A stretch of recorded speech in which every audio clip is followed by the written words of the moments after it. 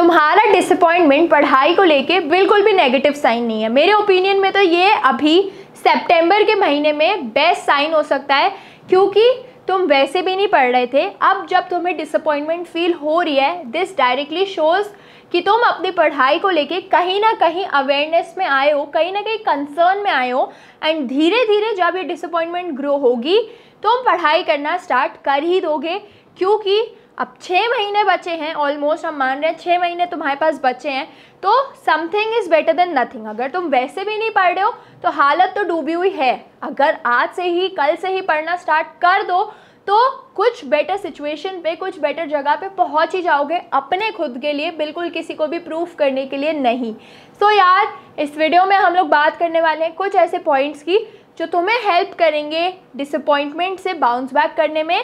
And सबसे पहली चीज़ जो आती है यहाँ पे, ये है कि तुम कॉज ही आइडेंटिफाई कर लो ना। जो तुम्हारे डिसअपॉइंटमेंट का मेन कॉज है, वही आइडेंटिफाई कर लो। एंड मेरे अकॉर्डिंगली मोस्ट ऑफ़ अस के केस में यही चीज़ होगी कि तुम लोगों को लग रहा है कि मैं एक्सपेक्टेशंस मीट नहीं कर पा रहा हूँ।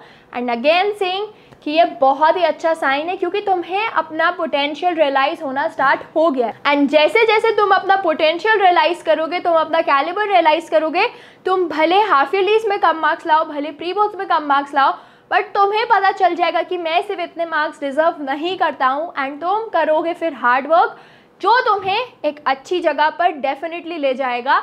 And which will help you definitely अब इसके बाद आता है कि जो तुम्हारी लर्निंग अपॉर्चुनिटीज़ हैं, उनको थोड़ा सा ना अपस्किल करो। मतलब जो तुम्हारी स्किल सेट हो सकती है एज अ ट्वेल्थ ग्रेडर या जो तुम्हारी स्किल सेट हो सकती है एज एन इलेवेंथ ग्रेडर उसको थोड़ा और अपस्किल करो। तुम लोग यही चीज़ समझ के करो कि जितनी भी पढ़ाई तुम करो यार टेंथ तक तो सब्जेक्ट्स मानो, ऐसे थे जो तुम्हें फ्यूचर में भी काम नहीं आए। बट इलेवन ट्वेल्थ में तो मोस्टली जो सब्जेक्ट्स हैं ये तुम्हारे काम के ही हैं. This will help you in future तो इनको थियोरेटिकली तो पढ़ो ही पढ़ो बट उसी के साथ साथ तुम्हारी जो लर्निंग अपॉर्चुनिटीज़ हो सकती हैं, उसको भी एडवांटेज में लो एंड उनको भी हाईलाइट करते करते चलो. नेक्स्ट तुम लोग डिसअपॉइंटमेंट में आते हो तब, जब तुम अपने लिए एक बहुत बड़ी एक्सपेक्टेशन सेट कर देते हो, एक बहुत ह्यूज माउंटेन क्लाइंब करने के लिए रख देते हो एंड तुम आधे तक भी नहीं पहुँचते हो फिर तुम्हारा पूरा मोटिवेशन गिर जाता है, फिर तुम्हारी पूरी मोराल गिर जाती है।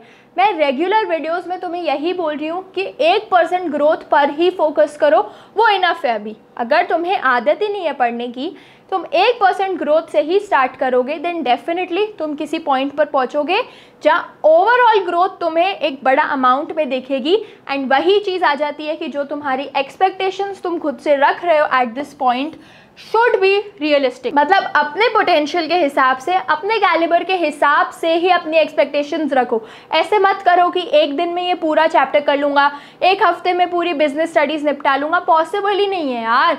जब धीरे धीरे स्टार्ट करोगे, थोड़ी लॉजिकल एक्सपेक्टेशंस खुद से रखोगे तो क्यों तुम्हारी डिसअपॉइंटमेंट क्रिएट होगी यार? क्यों तुम्हारी एक्सपेक्टेशंस क्रश डाउन होंगी? होंगी ही नहीं।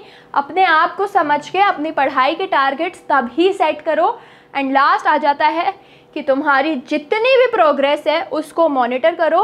अपने आप को अप्रिशिएट करते चलो, तभी जाके एक सक्सेसफुल पॉइंट पर पहुंचोगे सिलेबस को लेके। जब तक तुम खुद को वैल्यू नहीं करोगे, खुद के बारे में कॉन्फिडेंट नहीं फील करोगे, अपनी प्रोग्रेस को मॉनिटर नहीं करोगे तुम्हारा कॉन्फिडेंस बिल्ड होगा ही नहीं। एंड अगेन तुम डिसअपॉइंटमेंट में ही रहोगे। तो यार, ये मेरे पॉइंट ऑफ़ व्यू थे। अगर तुम्हें कुछ कहना है सो कमेंट बॉक्स पे लिखो इंटरेक्ट करते हैं। वीडियोस आती रहेंगी तब तक के लिए स्टे ट्यून्ड